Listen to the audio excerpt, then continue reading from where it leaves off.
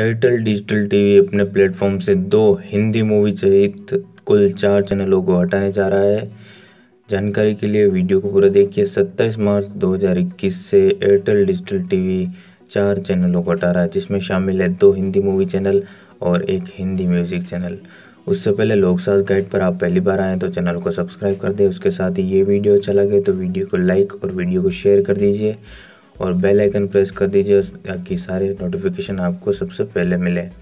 जी हाँ हम बात कर रहे हैं first channel B four U movies जो कि आपको एयरटेल डिजिटल टीवी पर channel number two three six पर देखने को मिलता है। सत्ताईस मार्च से ये चैनल एयरटेल डिजिटल टीवी अपने प्लेटफॉर्म से रिमूव कर देगा। स्क्रॉल रनिंग हो रही है चैनल पर। दूसरा हिंदी मूवी चैनल जिसकी बात कर रहे हैं हम, वो है बी फोर यू कड़क, जो कि channel number two three one पर आपको देखने को मिलता है। ये चैनल भी 27 मार्च 2021 से देखने को नहीं मिलेगा।